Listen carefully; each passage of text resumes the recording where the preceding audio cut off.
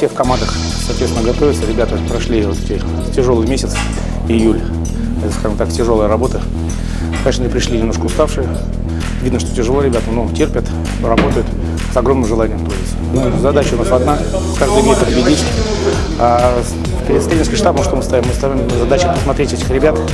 Э, скажем, те, это те ребята, которые поедут в ноябре на Кубок вызова.